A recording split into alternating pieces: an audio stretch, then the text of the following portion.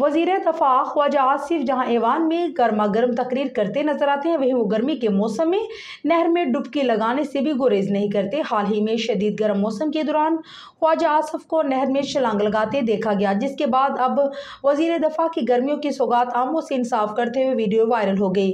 Video में देखा जा सकता है कि वज़ीर दफ़ा को अपने चंद दोस्तों के साथ मैंगो पार्टी में आम के मज़े उड़ाते हुए देखा गया। वायरल वीडियो की खास बात वज़ीर दफ़ा का आम से हुलिये में टी शर्ट और रबर की चप्पल पहने आम पार्टी में शरीक होना था। इस दौरान ख्वाजा आसिफ ने छुरी कांटों के बजाय देसी तरीके से आम खाया। इससे कबल जुलसा देने वाली गर्मी में ख्वाजा आसफ को सियालकोट, मोतरा के नाल में बेटे असद ख्वाजा के साथ नहर में छलांग लगाते हुए भी देखा गया।